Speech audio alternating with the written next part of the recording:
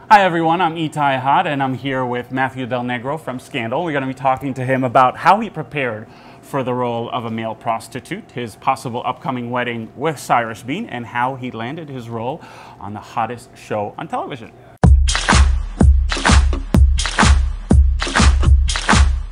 Hi everyone, I'm Itay Hod and welcome to the Wrap's Drinking with the Stars. We're at Riviera 31 in Los Angeles with Matthew Del Negro, Hello. who's in Scandal. And cheers. Cheers. Uh, you're having a Guinness. I'm having a Negroni in honor of Matthew Del Negro. Thank you, sir. People don't realize this, but you have been on pretty much every show on television for the last decade or so. I I want to read this Oh, to you okay. because I checked out your Wikipedia page. Okay. You've been on The Sopranos, The West Wing, Law and Order, Stargate, Beautiful People, Las Vegas, CSI, NCIS, Joan of Arcadia, Happy Endings, Rizzoli and Isles, and then you became famous for playing a, a, a- a male prostitute. Yeah, that's, that's exactly how I saw it happening.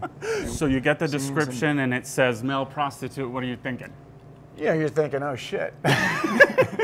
um, that's what you're thinking. Yeah. Um, and uh, but but you know what? I knew that Shonda Rhimes' reputation as a writer is that you're not going to just go in and if it says male prostitute. it's going to be the best kick-ass male prostitute Well, it's just you'll it's ever not play. going to be. Her characters are not easily defined. Right. But tell us a little bit about this big wedding because obviously this is a wedding in order to make sure that this scandal, this is Olivia Pope's um, idea for, for to Right. get rid of this scandal, right? Right, Because if which we was fall in originally her idea. Right. When everything came out, all these pictures came out. Her idea was we have to sell this as a love story. Right. Because then people will forgive Cyrus Beene for having had sex with a prostitute because they fell in love. Right. yeah, right. exactly. And uh, so when you when you meet up with me in this episode, um, something has happened.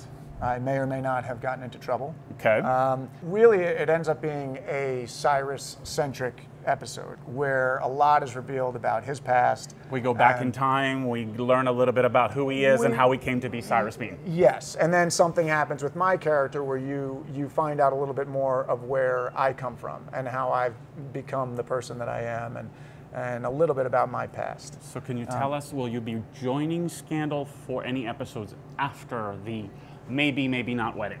Again, I could tell you, but then I'd have to kill you. Got it. By the way, if you like this video, you can check our entire Drinking with the Star series by clicking right here. Matthew, thank you so much for joining us. Thank it was you. a pleasure having you. Tell everybody at home where they can catch you and do it in your most like ABC promotional voice. ABC promotional. Yeah. Um, you can catch me on Scandal on Thursday nights at 9 8 Central.